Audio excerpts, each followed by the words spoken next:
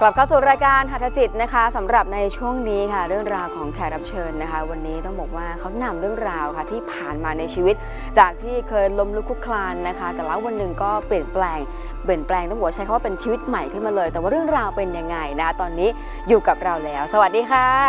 ครับสวัสดีครับพี่สวัสดีครับ อัธยาเนี่ยๆอย่าเรียกคาถานะ คล้ายๆเลเวยลาคุณหมอเรียกประจำแล้วคุณหัตถยาเขาก็มองยาไหนนะฮะแต่จริงๆเขาไม่ใช่หัตถานะค่ะเขาเป็นแฟนรายการแล้วก็ติดตามมา อุ๊ย ตั้งแต่สมัยทำพิธีที่ชนบุรีเลย ค่ะวัดทุ่งเหียงมั้งครับ นะครับ นานนะเนี่ย นะนานมากเลยใช่ไหมคะครับนี่จากแสดงคุณปู่ว่าเป็นแฟนคุณย่าติดตมครูถามมานานมากจริง ครับผม โอ้ ครับ นี่ค่ะ ผ่านเรื่องราวมาแล้วใช่บอกว่าเจอเจอแล้วก็ได้ติดตามครูมาโดยตลอดนะ แต่วันนี้ก่อนจะพูดคุยกัน เดี๋ยวขออนุญาตนะ ให้อาจารย์ได้วิเคราะห์ลายเซ็นก่อนดีกว่า จากชื่อเลยนะฮะจากชื่อก็ชื่อของคุณหัตถยานะครับ ที่ไม่ใช่หัตถาแต่คล้ายๆนะฮะออกเสียงก็ต้องฟังนิดหนึ่งครับผมได้ถอดธาตุแล้วว่า ชื่อนี้นะครับก็เปรียบเสมือนคนที่นะถ้าเป็นกองถ่ายก็คืออยู่เบื้องหลังอืมกำกับบทนะฮะแต่ปรากฏว่าตัวเองต้องออกหน้าค่ะออกแรงสุดท้ายติดลบครับอืมเมื่อใดก็ตามนะ ถ้าคิดว่าจะทำอะไรให้เป็น เรื่องเป็นราวเป็นกับชีวิตแล้ว มักจะเจออุปสรรคแต่จะเจอแบบซ้ำซ้อน จะซ้ำซ้อนยังไงจะแก้ไขได้หรือเปล่า เรามาติดตามรับชมกันพร้อมๆกันเลยครับ ค่ะนะขออนุญาตพูดคุยนิดนึงคเนาะรับบอกว่าเมื่อก่อนนี่คือ เรารู้สึกว่าเราล้มลุกคลุกคลานตลอด แต่ว่าตอนนี้ดีขึ้นครับมากผม เลยทีเดียวครับผม ทำอะไรอยู่คะตอนนี้ตอนนี้ทำธุรกิจรถยกอยู่ครับผม อ๋อครับ รู้จักรถยกไหม รถเวลารถเสียรถพังเวลามั่วยรถจะเจ๊งเนี่ย จะเสียจะพังจะค่ะชนกันอย่างเช่นดับกลางทางอะไรอย่านั่งนแหเงี้ละย ฮะจะชนอ่าจะชนอะไรก็แล้วแต่ ค่ะ รถยกก็จะมาแล้ว ก็ผ่าครับ อ่านะครับ ตอนนี้คือเป็นกิจการของตัวเองดูแลของตัวเองเลยครับผม ครับ โอ้นะแสดงว่าจริง ๆ แล้วคำว่าลมลุกคลุกคลาน ก่อนหน้านี้ก็ไม่ใช่แบบนี้ ครับผม ก่อนอันนี้เป็นยังไงบ้างคะชีวิต ก่อนหน้านี้ก็ทำงานบริษัทครับผม อืม ก็เป็นงานประจำเนาะ งานประจำคครัรับ บ ก็ทำมาแล้วมันคงจะถึงจุดอิ่มตัวครับอืมสิบห้าปีเป็นลูกน้องเขาไม่ไหวแล้วไม่ไหวแล้ว ครับไม่ไหวแล้วอ๋อก็เลยออกมาลองทำธุรกิจอะไรของเราเองอืมดูค่ะ ครับ ตอนนั้นย้อนกลับไปว่า 15 ปี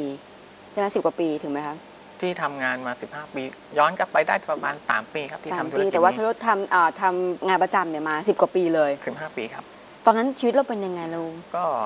มีหนี้สินติดขัดคไหมรับก็มีครับผมบอกว่าทำงาน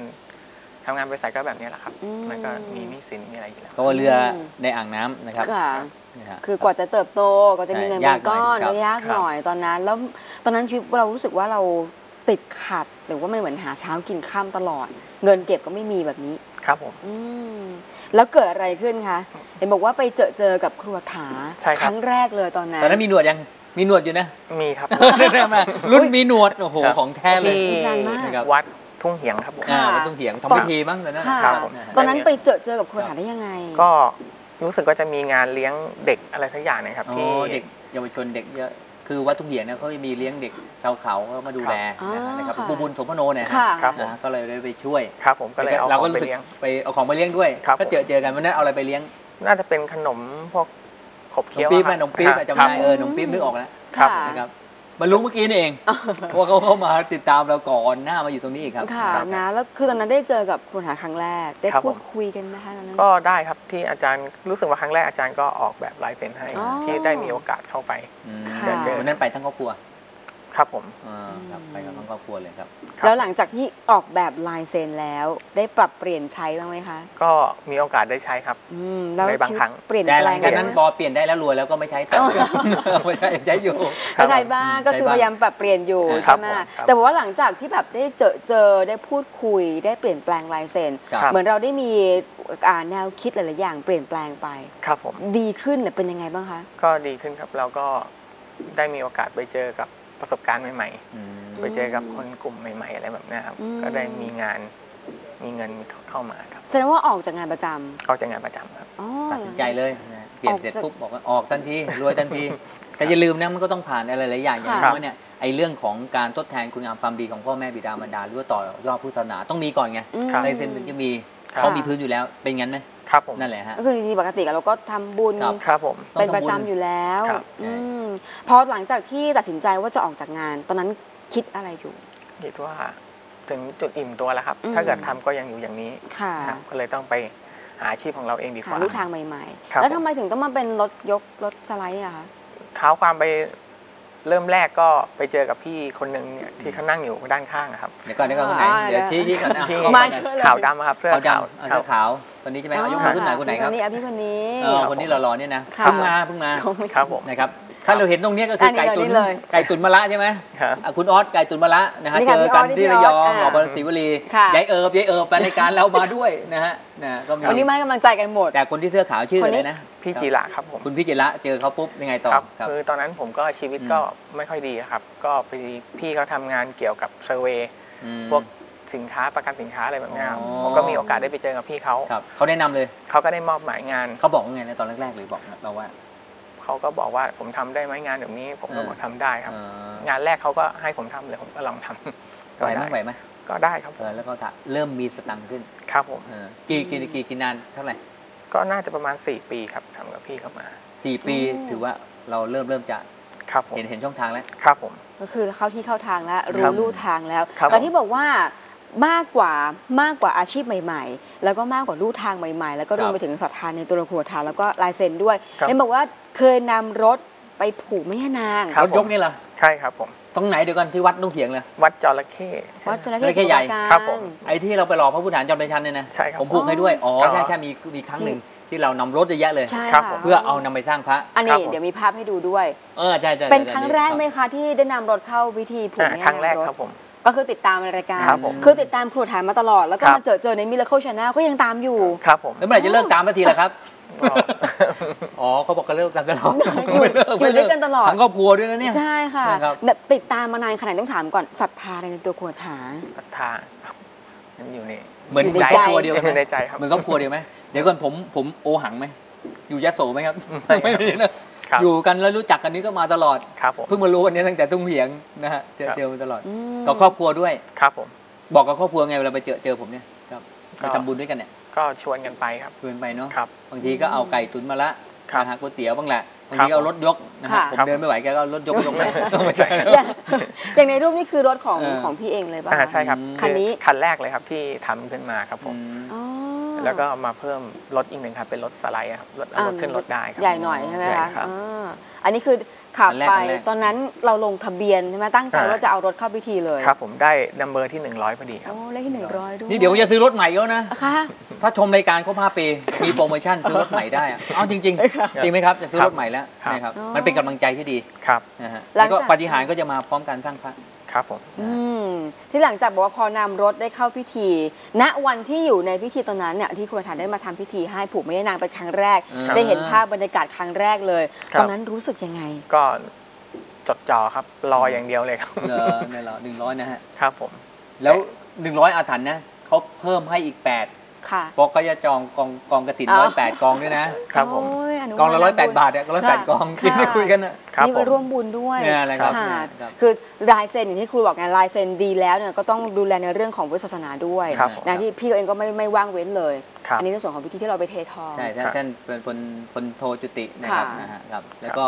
พันเอกสุขสันต์หนองบัวล่างอ่านะครับโอ้โหเราจำได้ก็จะเจอค่ะเจอเนี่ยนะฮะคณะทหารหล่อเนี่ยพระแล้วประจำเลยใช่นะครัคะบครับหลังจากที่นำรถเข้าพิธีผูกแม่ย่านางเห็นบอกว่าหลาย ๆ อย่าง เราเชื่อครับเราเชื่อว่าสิ่งต่าง ๆ ที่เป็นสิ่งดี ๆ เข้ามางานดี ๆ ก็เข้ามาเยอะเลยใช่ครับเป็นเพราะการผูกแม่ย่านางรถ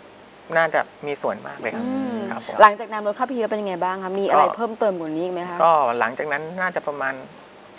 หกเดือนแล้วหนึ่งหกเดือนนะครับ ผมก็ได้ไปเจอเจออาจารย์อีกครั้งหนึ่งที่ไหนฮะอ๋อที่ อะไรสินสมุทรที่สัตหีบอะครับผมอ๋อสถิหิบอ๋อสอนกสินไปครับผม ตอนนั้นเอาก๋วยเตี๋ยวไปด้วยนะครับ พร้อมกันนะครอบครัวใช่ นึกว่าจำไม่ได้หรอกอาจารย์จำแม่นหจำได้เลยถ้าหนูมีก๋วยเตี๋ยวหนูจำได้เลก๋วยยเตี๋ยวใช่ไหม ใช่ค่ะแล้วอร่อยมากนั่งกสินไปอาจารย์จะไปตอนนั้นรอคิวกันเลยอน่าร่อยมากที่ชลบุรี แต่คำว่าอร่อยไม่ใช่แค่นั้นเขายังพาครอบครัวไปนั่งกสินไป ค่ะ ผมได้บอกนะฮะศรัทธาครูต้องบูชากรรมฐานด้วย อืมไป แล้วเป็นไงมั้งฮะ ก็ผมก็ได้นำเลขทะเบียนสองคันที่ผมจะซื้ออะไปให้อาจารย์ดู แล้วผมบอกว่าให้เอาคันนี้ ผมก็ซื้อคันนั้นมาก็อ๋อใช้งานมาถึงทุกวันนี้ครับจนถึงทุกวันนี้แล้วนี่จะซื้อใหม่อีกคันแล้วว่ะค่ะจากวันนั้นวันนี้ก็ไม่กี่ปีเองครับ นะฮะสินสมุทรนะฮะ อืมครับคือต้องต้องชังว่าจากที่ติดตามครัวฐานมาก่อนหน้านี้ก่อนจะมาที่อยู่มิเลโคชาแนลด้วยซ้ำไปครับคือผม หลายปีเลย ครับผมเรารู้สึกว่าหลาย ๆ อย่างแนวทางชีวิตมันดีขึ้น ครับ นั่นเป็นเพราะว่าศรัทธา ค่ะ อยู่ตรงนี้แล้วนี่จากอยพนักงานพูดไหมเป็นอาเซียคะอ่านะฮะเป็นเจ้าของกิจการใช่ครับผมจากที่รู้สึกว่าเราทำงานมา 15 ปีล้มลุกคลุกคลานมาตลอด จะมีครับเงินเก็บก็ไม่มีครับนะจะมีชีวิตที่เป็นแบบชีวิตอืมดีๆชีวิตใหม่ๆ ก็ยังไม่มีสักครับทีจนครับไปรู้แนวทางของตัวเองครับ อยู่ตรงนี้แล้วอยากจะบอกอะไรกับครัวทานหน่อยไหมคะเดี๋ยวแบ่งกันอะว่ามา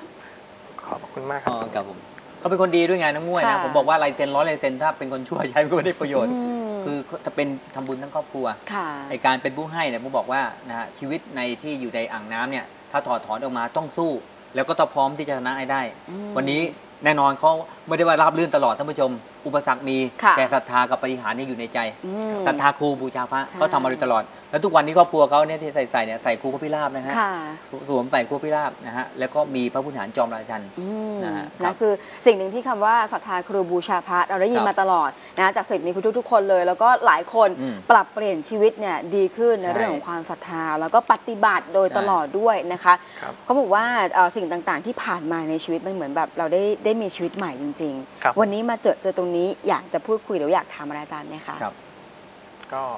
อย่างที่ถามอาจารย์ไปว่าอืมธุรกิจนี้ผมจะทำได้อีกเป็นยังไงบ้างครับเหมือนคำแรกภายภาคหน้า ตอนที่คุณเริ่มก้าวว่าคุณจะทำได้หรือเปล่า ครับ แต่คุณก็ก้าวข้ามมันได้ ครับ ไอ้คำว่าก้าวข้ามนั้นแสดงว่าไม่ได้ก้าวถอยนะอืมก้าวเดินต่ออมแน่นอนในคนเราที่บอกนะมันเจออุปสรรค มันไม่ราบรื่นเหมือนดอกกุโลอ่าดอกกุหลาบค่ะนะที่มีก้านหนามอ่าแล้วก็เด็ดดมแล้วความหอมมันก็หายไปไม่ใช่ค่ะมันต้องเดินต่อเจ็บบ้างพังไปอืมแต่สุดท้ายคุณคุณสู้ไงฮะครับแล้วคุณก็ไม่ถอยครับอีกอย่างในครอบครัวนี้แปลกอย่างเขาว่ากตัญยุตาคือค่ะกตัญญูต่อพ่อแม่บิดามารดานะฮะนะมีพ่อมีญาติป่วยเขาก็ดูแลกันเป็นครอบครัวอืมไม่เคยทิ้งกัน อันเนี้ยทำให้พวกให้พวกเราคณะเนี้เจริญขึ้นถูกต้องไหมครับครับนั่นแหละฮะเขาไม่เคยทิ้งกันอืม นั่นั่นนแหละนั้นฮะ สิ่งดีคือนอกจากที่ลายเซ็นจะดีแล้ใช่วต้องปฏิบัติตัวด้วย คิดดีทำดีใช่ ปฏิบัติดี